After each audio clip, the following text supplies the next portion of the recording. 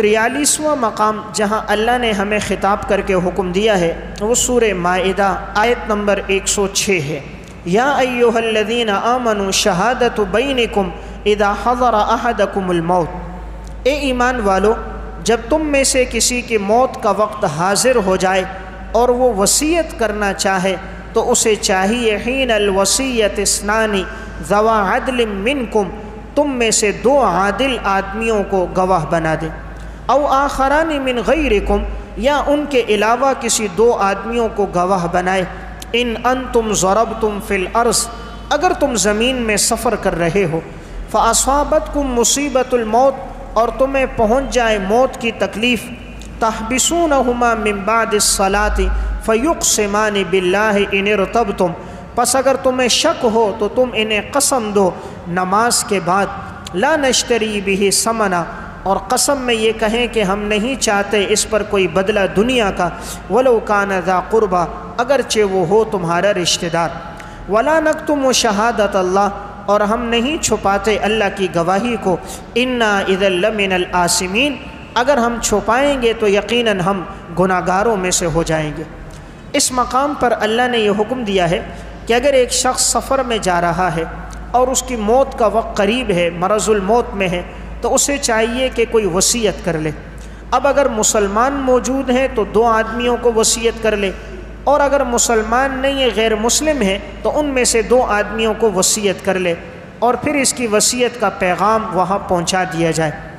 इन आयात का एक शान नज़ूल है, जिसके पस मंज़र में ये आयात नाजिल हुई। वो ये था कि सहाबा इकराम में एक शख्स था, जिसका नाम था बुदेल। ये मुसलमान हुआ। ये बुदेल तिजारत के लिए गया। इसके साथ दो ईसाई शख्स भी थे। सफ़र करते हुए जब ये पहुँचा तो रास्ते में एक जगह ये बीमार हो गया। इतना बीमार हुआ कि इसे लगा कि मेरा इंतकाल हो जाएगा। तो इस बुदेल ने उन्हें वसीयत की और वसीयत करके कहा, मेरा ये सामान मेरे घर पहुँचा देना, मेरे वरसा को दे देना। अब इसने वसीयत करके वो सामान इन्हें दे दिया। लेकिन इस बुदेल ने अपने सामान में एक खुफिया पर्ची रखी थी।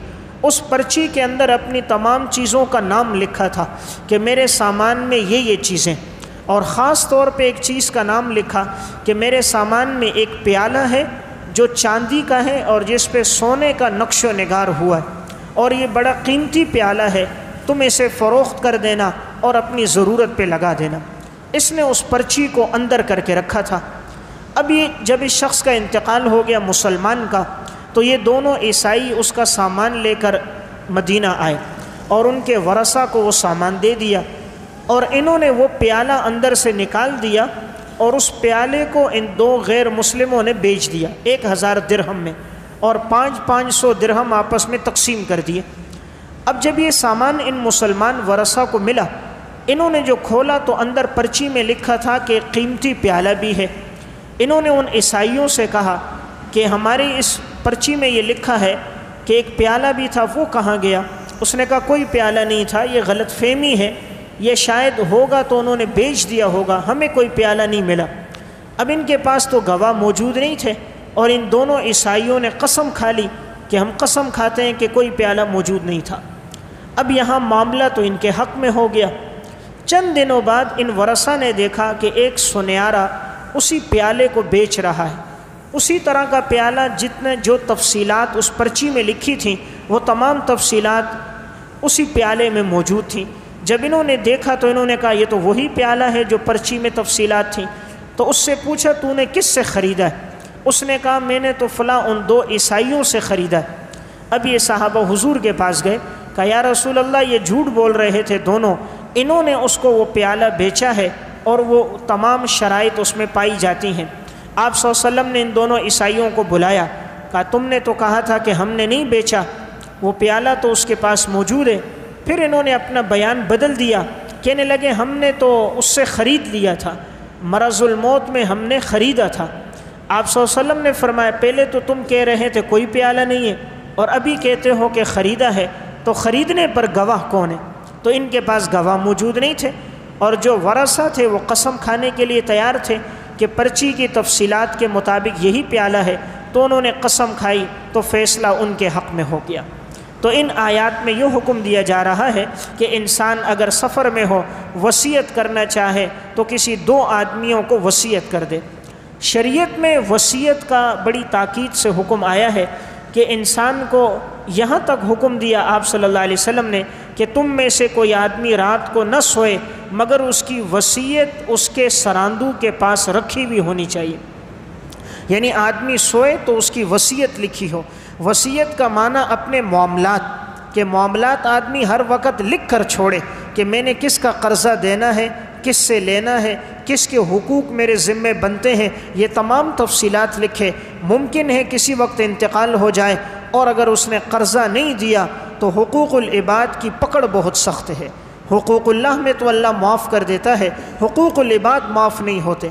ख़ास तौर पे कर्ज़ा एक ऐसा गुनाह है, ये माफ़ नहीं होता। आप सल्लल्लाहु अलैहि वसल्लम हर नमाज़ के बाद इसीलिए कर्ज़े से पनाह मांगते थे, अल्लाहुम्मा इन्नी आऊज़ुबिका मिनल मगरम, ए अल्लाह मैं कर्ज़ से पनाह माँगता हूँ। उम्मुलमोमिनीन हज़रत आयशा सिद्दीक़ा ने पूछा, या रसूल अल्लाह आप कर्ज़ से इतनी पनाह क्यों मांगते हैं? आप सल्लल्लाहु अलैहि वसल्लम ने फरमाया जब आदमी किसी से कर्ज़ा लेता है, इदा हद सा कज़बा, बात करता है तो झूठ बोलता है। वह इदा वाद अखलफ़ा, वादा करता है तो खिलाफ वर्जी करता है। बात करता है, मैं कर्ज़ा आपको फ़लाँ दिन दे दूँगा, फ़लाँ दिन आता है, झूठ बोलता है। फ़लाँ मुसीबत आ गई, परेशानी आ गई, तकलीफ़ आ गई, बच्चा बीमार हो गया, अहलिया बीमार हो गई, झूठ बोलता है। वादा करता है, फ़लाँ दिन दूँगा, खिलाफ वर्जी करता है। इसलिए शरीयत ने इससे इंसान को रोका। तो हर आदमी हमेशा अपनी वसीयत लिख कर सोए, यही दीन का हमें हुक्म है। वसीयत लिखने का फ़ायदा ये होता है, वरसा को फ़ायदा पहुँच जाता है। अगर किसी ने आपका हक़ देना है और आपने किसी को बताया नहीं, इस दौरान इंतकाल हो गया।